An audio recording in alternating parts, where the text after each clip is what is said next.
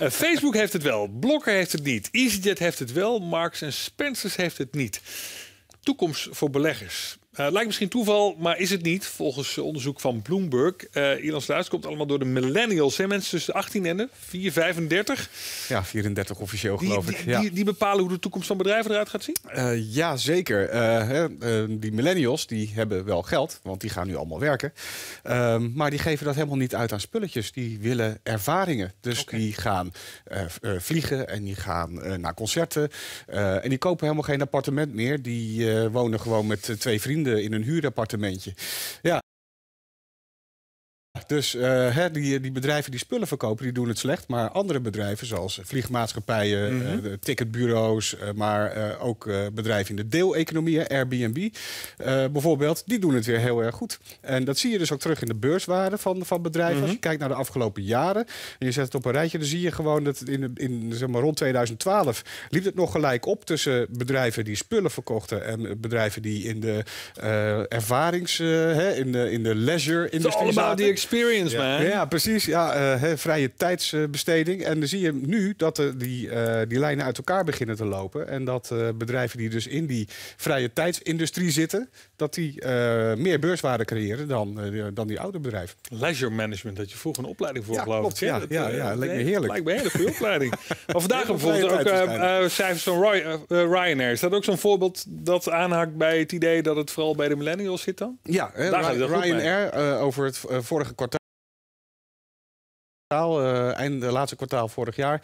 Uh, 103 miljoen euro winst gemaakt. Een dubbele ten opzichte van het jaar daarvoor. En dan zou je natuurlijk zeggen dat komt door de olieprijs. Ja, is een beetje waar, maar ze maken ook daadwerkelijk meer omzet. Uh, en als je bijvoorbeeld afzet tegen bedrijven die in de, in de kookspulletjes zitten, de potten en de pannen om het ja. zo maar te zeggen. Hema, Blokker, die verkopen 5,5% minder spullen. dus daar gaat het gewoon echt een stuk minder mee. En daar kun je dus wel aan zien. En wat je ook ziet is bijvoorbeeld dat, nou ja, noem maar weer Airbnb, maar ook uh, hoe heet het, Snapcar, hè, waarbij je auto kunt delen. Dat doet het goed. En al die millennials willen al hun ervaringen natuurlijk ook delen. Dus bedrijven als Facebook, Instagram. Facebook maakte trouwens laatst ook uh, spectaculaire cijfers bekend. Hè. Die doen het ook goed. Als um, Twitter dan. En er zit toch geen millennials nee, op? Nee, dat, nee, dat is flauwe, flauwe mensen. Mannen. Ja. Uh, en het is ook een soort vliegwiel-effect. Die, uh, dat delen van die ervaring op Facebook bijvoorbeeld. Want al die mensen die erop zitten, die ja. leiden aan FOMO. FOMO? Ja.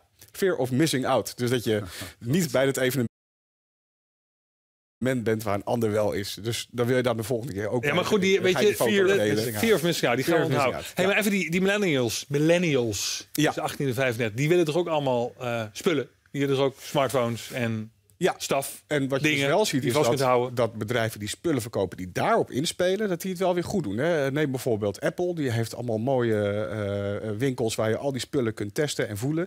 En Samsung komt ook niet voor niks één keer in het half jaar met een nieuw apparaat. Uh, kledingmerken uh, of, of kledingverkopers zoals Zara en H&M, die zie je daarop inspelen. Die wisselen geloof ik om de paar dagen. Dus je moet heel collectie. snel wisselen. Dus het gaat om de experience en spullen, en, en, ja, en ja. spullen die heel snel worden, wisselen. Je moet geprikkeld worden. Hey, weet je, ik vind het allemaal wel mooi, maar die, dit zijn allemaal millennials zonder kinderen. Hè? Wacht maar tot ze kinderen krijgen. Als de tweede in op inkomst is, dan kopen ze allemaal weer zo'n klein leuk autootje voor zichzelf. En dat is toch wel makkelijk. Meuk kunnen ze daarin bewaren. Gaan ze allemaal een huisje kopen? Gaan ja. ze allemaal op platteland wonen? Ja. Ik geloof hier helemaal niks van. Maar ik denk dat het toch ook wel doordendert. Hè? Dat toch mensen, als ze die kinderen hebben, toch uiteindelijk ook met hun kinderen willen gaan backpacken en zo. Dat zie je ook steeds vaker. Ik denk en die echt plannen dat... hadden we allemaal, hè? Ja, precies. En sommigen doen het ook echt. Ja. dus ik denk echt dat, uh, dat, dat dat deel nog lang na hebt. Zelfs als die mensen kinderen hebben. Daar kun je als belegger dus op inspelen, begrijp ik. Nou ja, als je, als je toch wil investeren, dan moet je dus aan die kant van, uh, van de bedrijven hmm. Ja. Nou, we gaan er eens rustig over nadenken. Dankjewel, Ina Sluis.